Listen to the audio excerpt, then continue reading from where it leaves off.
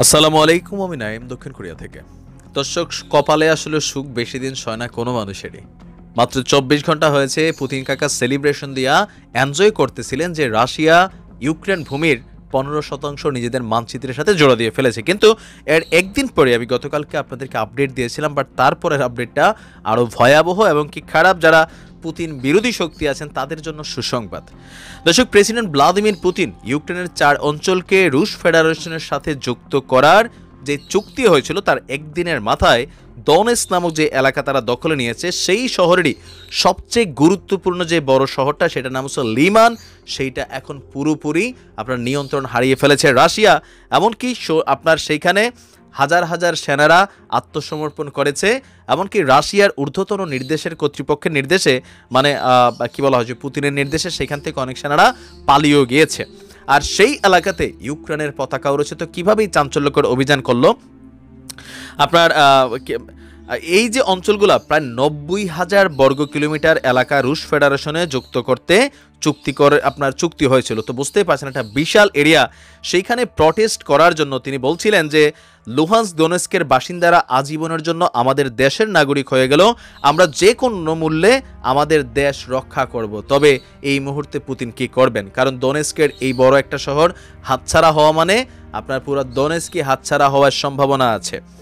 পুতিনের ঘোষণার দিন ইউক্রেন প্রেসিডেন্ট জেলেন্সকি বলেছিলেন, রাশিয়ার দখলে থাকা ভূখণ্ড পুনরুদ্ধারে তারা যুদ্ধ চালিয়ে যাবেন, লিমান শহর পুনরুদ্ধার করে ইউক্রেন তাদের জয়ের প্রথম ধারা অব্যাহত করলেন, এমনকি ইঙ্গিতও দিলেন যে তারা বাকিগুলো পুনরুদ্ধারে হয়তো সক্ষম। রাশিয়ার প্রতিরক্ষা মন্ত্রণালয়ও লিমান শহর থেকে সরে যাওয়ার বিষয়টি নিশ্চিত করেছে। শহরটি ইউক্রেনের সেনারা ঘিরে ফেলেছে, তাই ঝুঁকি থাকায় সৈন্যদের আপনার সেইখান থেকে সরে যাওয়ার নির্দেশ দেওয়া হয়েছে এমনকি সরিয়ে নেওয়া হয়েছে। এর আগে ইউক্রেনের প্রতিরক্ষা মন্ত্রণালয় এক টুইট বার্তায় জানায়, তাদের বিমান বাহিনী লিমানে ঢুকেছে। এছাড়া টুইটের সঙ্গে একটি ভিডিও প্রকাশ করা হয়, এতে দেখা যায় ইউক্রেনের সেনারা তাদের জাতীয় পতাকা নিয়ে লিমান শহরের নাম সংবলিত একটি ফলকের পাশে দাঁড়িয়ে আছে। ইউক্রেনের প্রেসিডেন্ট চিফ অফ স্টাফের পক্ষ থেকেও একটি ভিডিও প্রকাশ হয়েছে। এতে এক ইউক্রেনীয় সেনাকে বলতে শোনা গেছে, আজ পহেলা অক্টোবর। নিজেদের ভূমিতে আমরা পতাকা তুললাম, লিমান ইউক্রেনেরই থাকবে, আর এটা এখন স্বাধীন ভূখণ্ড, ইউক্রেনেরই অংশ। এই লিমান কিন্তু দনেস্কেরই একটা শহর, খেয়াল আপনাদের নিশ্চয় আছে। ইউক্রেনের সামরিক বাহিনীর একজন মুখপাত্র বলছেন, এই শহর দখলের মধ্য দিয়ে তাদের সামরিক বাহিনী দনেস্কে আপনার বিজয় অর্জনের পর লুহানেস্কেও আপনার চলে যাবে। তো লুহানেস্কেও কিন্তু পুতিন কাকা সম্প্রতি তার যে রাশিয়ার মানচিত্র আছে, সেইখানে সেটাকে অ্যাড করে নিয়েছেন। দর্শক, লিমান শহরে রাশিয়ার পাঁচ থেকে সাত হাজার সেনা ছিল।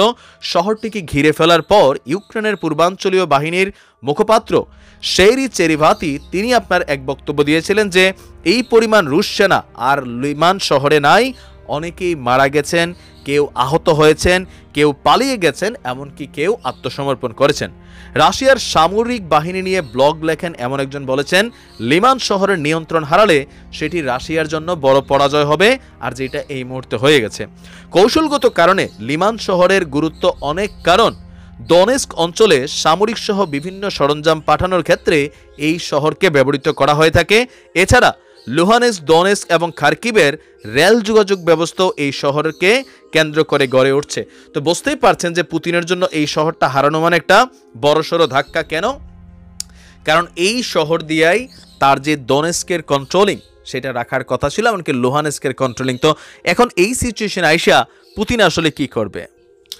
এর মধ্যে আরও একটা দুঃসংবাদ পুতিন কাকুর জন্য। সেটা হচ্ছে যে, এই হামলার পরিপ্রেক্ষিতে পুতিন বড়সড় একটা হামলা চালাইতে পারে। যেহেতু সেনা টু সেনা হামলাতে রাশিয়া পিছনে হটেছে বা সেনাদেরকে আত্মসমর্পণ বা পালিয়ে যেতে বাধ্য করা হয়েছে, সেই ক্ষেত্রে আকাশপথেই হামলা চালাবে রাশিয়া, এমন ধারণা করে অ্যাডভান্সই একটা ব্যবস্থা নিয়ে নিয়েছে আপনার কি বলা হয় যে ইউক্রেন। ইউক্রেনের ভাগ্য ভালো যে এই মুহূর্তে ন্যাটোর অন্তর্ভুক্ত যে দেশগুলো আছে, তারা সর্বোচ্চ সহযোগিতা করছেন। দর্শক, দীর্ঘদিন যাবৎ জার্মানি থেকে ইউক্রেনকে আর কোনো বড় মাপের অস্ত্র দেওয়া হবে না। এমন বক্তব্যই ছিল, কারণ গ্যাস সংকট নিয়ে, তেল সংকট নিয়ে জার্মানির যারা আইন প্রণেতা আছেন, তারা মনে করছিলেন যে পুতিনকে ঘাটা ঠিক হবে না। কিন্তু সময় যখন খারাপ যায় আসলে মনে করলেন যে কি বলো যে, পিঁপড়াও হাতিকে আসলে ধৈর্য কামড়ায়, তাই না? তো যাই হোক, এখন এই সম্ভাব্য ড্রোন হামলা বা পুতিনের যে বিমান হামলা, সেইগুলোকে প্রতিরোধ করার জন্য ইউক্রেনকে চারটি আইআরআইএসটি বিমান প্রতিরক্ষা ব্যবস্থা দেওয়ার ঘোষণা দিয়েছে জার্মানি। আপনার রবিবার ওডেসায় একটি অঘোষিত সফরের সময় জার্মানির প্রতিরক্ষা মন্ত্রী ক্রিস্টিন ল্যামব্রেক্ট এই তথ্য দিয়েছেন। এই মুহূর্তে ওডেসা আপনারা জানেন যে ইউক্রেনের একটা বন্দর নগরী, যেই বন্দর নগরীটা এখন পর্যন্ত রাশিয়ার দখলে আছে বাট পুরোটা এখন আর রাশিয়ার দখলে নাই। তো সেইখানে ভিজিট করতে গিয়েছিলেন জার্মানির এই প্রতিরক্ষা মন্ত্রী, আর সেইখানে গিয়ে তিনি এই বর্তমানে যুদ্ধের পরিস্থিতি বিবেচনা করে এই সিদ্ধান্ত নিয়েছেন। ল্যামব্রেক্ট বলেন, কয়েকদিনের মধ্যে আমরা ইউক্রেনকে অতি অত্যাধুনিক আইআরআইএসটি এয়ার ডিফেন্স সিস্টেম সরবরাহ করব। এটিকে ড্রোন প্রতিরক্ষার জন্য খুবই গুরুত্বপূর্ণ বলে তিনি উল্লেখ করেন। সম্প্রতি ইউক্রেনে ইরানের তৈরি কামিকান ড্রোজ দিয়ে আপনার হামলা চালাচ্ছে রুশ বাহিনী। ফলে প্রাণ হারাচ্ছে বেসামরিক নাগরিক সহ ক্ষতি হচ্ছে আপনার বিল্ডিং টিল্ডিং অবকাঠামোর। যদিও জার্মান সশস্ত্র বাহিনী বর্তমানে এই সিস্টেমের মালিক নয়, তবে এটিকে বিশ্বের সবচেয়ে উন্নত প্রতিরক্ষা ব্যবস্থার মধ্যে গণ্য করা হয়। এখন পুতিনকে যদি আপনার আর সরি, ইউক্রেনকে যদি জার্মানি এই অস্ত্র দেয়, তাহলে কি হবে? ইরানের তৈরি যে ড্রোন আছে, সেগুলো দিয়ে খুব বেশি আর সফলতার সুযোগ পাবে না পুতিন কাকু। তাহলে বিষয়টা কোন দিকে যাবে? এখন সেটা সময় বলে দিবে, তবে পুতিনের কপাল খারাপ বাট রাশিয়া কি সিদ্ধান্ত নিতে যাচ্ছে, সেটা হতে সময় বলে দিবে। সেই পর্যন্ত অপেক্ষা করুন। আসসালামু আলাইকুম।